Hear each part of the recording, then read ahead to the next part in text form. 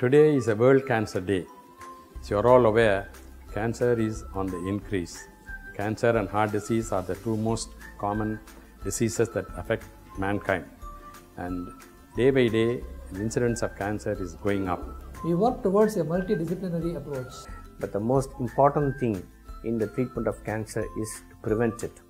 Early detection and prevention of cancer is the key to treating cancer.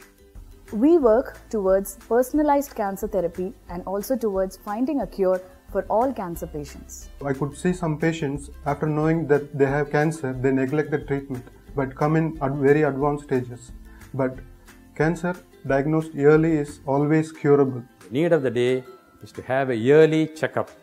All men and women after the age of 40 should go for a regular checkup, and this way we can prevent uh, advanced disease and it is basically a curable condition. Half the battle is won when the patient is brave and bold and has self belief that he can conquer the disease. The remaining battle is done by the doctors. Be associated with research of any kind, for that is the future of medicine. Cancer Day 2017 is very important because we are seeing more and more cases of cancer.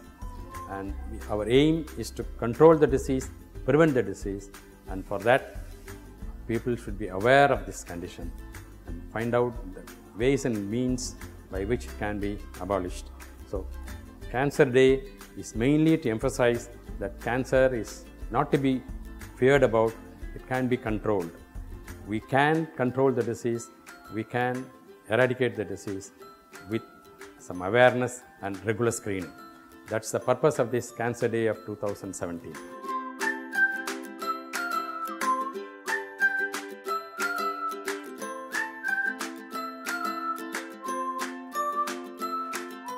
Cancer is merely a condition. Why the need for submission? It's a passing cloud after all. Let's move on and stand tall. What can we do to help the cause? To save the planet from its vicious claws. We can help spread care and compassion. We can share knowledge with a lot of passion. We can encourage early detection. We can do our bit for prevention. We can fund research and education.